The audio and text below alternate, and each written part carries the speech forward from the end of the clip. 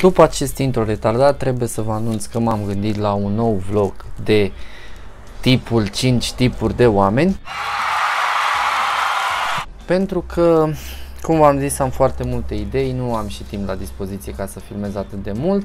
Oricum, trecând peste asta, ideea este că, așa cum știți sau cum v-am mai spus, dacă nu știți o să aflați, eu lucrez ca barman. Am lucrat prin multe locuri ca barman și unul din locurile prin care am lucrat s-a întâmplat să fie și un casino. Nu cred că vă imaginați ce fel de oameni vin la casino.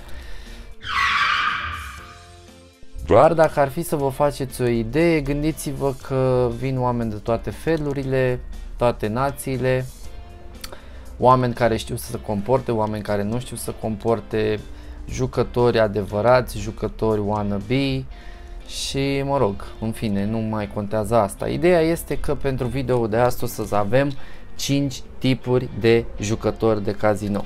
Așa că să nu mai lungim, că n-are rost să lungim, dăm drumul și Hai să vedem ce a ieșit. Primul tip de jucători care, mă rog, nu prea ai cum să-i numești jucători, sunt ăia care vin și cer tot timpul de băut sau mănâncă covrigei și alune, după caz, fără să se joace. Eu n-am înțeles niciodată tipul ăsta de om sau de comportament pentru că toată lumea știe că din moment ce vii acolo și te joci, ți se oferă ceva. Atât timp cât tu nu te joci și nu bagi niciun ban în aparat, nu este obligat nimeni să te servească pe tine. Și pur și simplu cer de băut și mănâncă și stau prin sală aciuați pe acolo fără să facă nimic.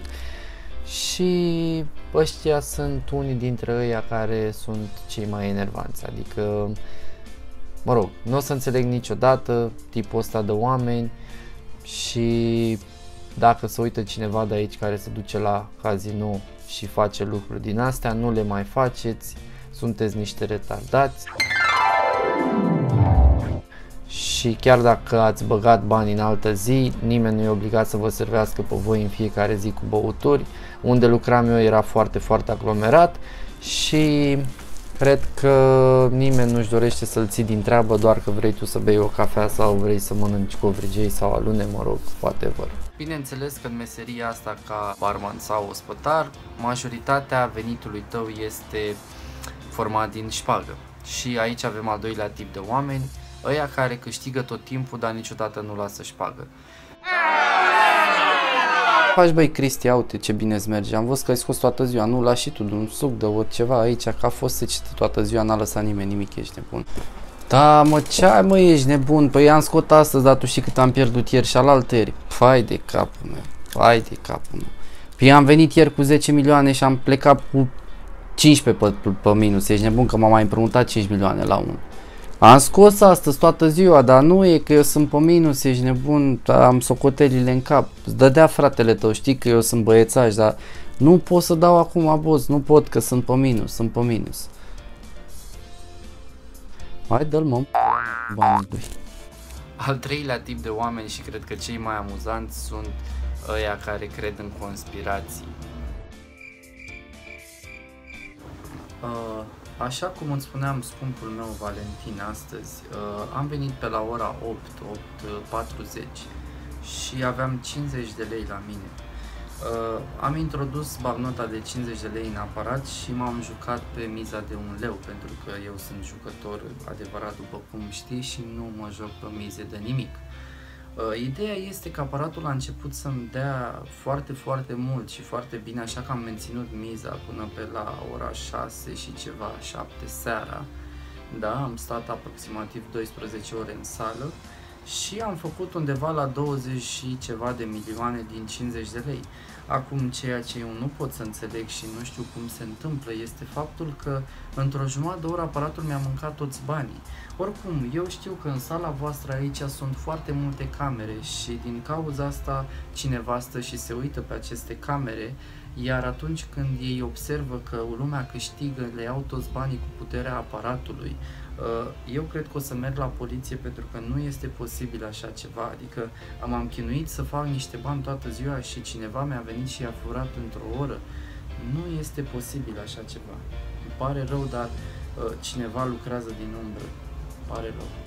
Al patrulea tip de jucători, unii la fel de enervanți ca și primii, sunt ăia care stau lângă jucători, n-au niciun ban și doar stau și ling în cur că poate, poate câștigă și ea ceva, le mai lasă 10-20 de lei să se poată juca și ei. Neagră. Neagră, neagră, roșie. Ăla e mă tată mă, 20 de milioane, ești nebun la cap. Bravo băi Damiane, ești nebun, ești forța astăzi, ești pe ele. Am băgat și fratele tău un milion astăzi, dar nu dă nimic. Ia uite, ai prins și specială, ești nebun la cap. Oricum sunt pe ele aici, nu mai hai că dau pe automat, gata. E forță, ești nebun, tu știi de când mă joc. Ce ai mă? Am venit și ieri, am pierdut vreo 20 de sute, dar mă rog, îi fac astăzi la loc. Nu e problemă. Mă joc, sunt pe ele aici. Da, mă, da, ești nebun la cap. Ia uite, pac specială de ten morții, mătii. Forță, forță, forță. Ce ai mă, ăsta e numărul 1, mă, ăsta vine zi de zi aici, mă, să joacă, ăsta e cel mai nebun, dacă nu dă în ele. Bravo, mă, bravo, dacă nu ești cel mai șmecher în sala asta, ești. E fratele meu, mă, ești nebun la cap. Special, ești nebun. Ia uite, pe 5 lei am prins-o, du tem. Forță, forță, forță. Al cincelea tip de oameni care sunt, cred că, cei mai lăudăroși dintre toate tipurile, sunt ăia care se joacă pe sume mici, dar dacă îi întrebi cu o oră în urmă sau cu două ore sau cu o zi sau cu o săptămână erau cei mai șmecheri în cazinoul ăla și au făcut sute de milioane, dar acum s-a întâmplat așa să nu mai aibă la ei bani. O, salut mă Coco, ce faci, ești bine? Ia zi, aduce fratele tău ceva de băut? O cafea, un suc? Ah, hai noroc fratele, ce să fac? Uite aici la aparatele astea.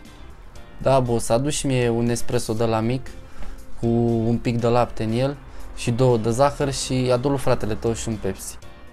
Da, boss, ești nebun, cum să nu-ți aduce fratele tău imediat? Ia zi, cum ești astăzi, ești pe el? Da, ce să zic mă, mâncați și am venit astăzi, ești nebun la cap, 20 de milioane aveam de ieri la mine, într-o jumătate de oră, pac, s-a dus pe morților, nu mai am nimic la mine, ești nebun. Acum două zile am venit cu un milion, am plecat cu 15 de aici. Săptămâna trecută am venit cu vreo 70 de lei, 80 de lei, am plecat cu 30 de milioane, mi-a dat special la, la pe 5 bani la 10, ești nebun. Doamne, Băi frate, nu știu cum să duc bă banii ăștia, uite și mă joc pe 10 lei acum, ești nebun la cap. Dar las că-i fac eu la loc, dă-i morților de bani. Și pentru că am ajuns la final am un bon pentru voi, al șaselea tip de oameni sunt ăia credincioși care vin la aparat și se apucă și fac cruce pe toate butoanele și să roagă la Dumnezeu ceva de genul roșie.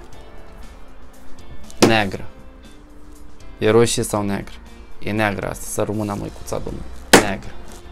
Sunt foarte, foarte amuzanți oricum.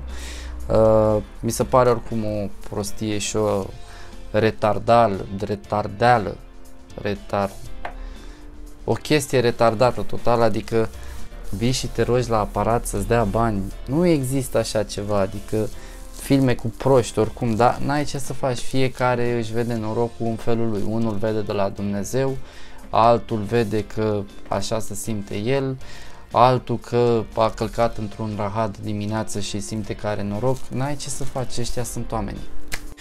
Cam asta a fost vlogul meu despre 5 oameni în cazinouri, sper că v-a plăcut, vreau să fac mai multe videouri de felul ăsta pentru că am văzut că sunt mult mai apreciate, o să continui și cu vlogurile mele în care o să vorbesc despre anumite subiecte.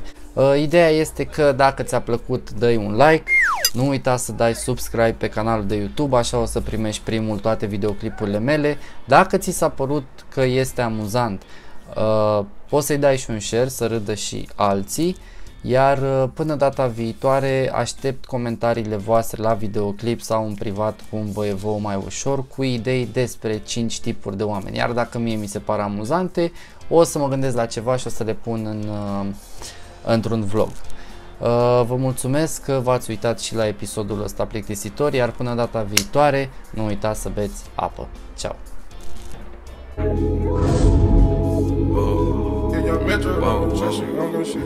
Last night took a L, but tonight I bounce back. Wake up every morning, by the night I count stacks. Knew that ass was real when I hit it, bounce back.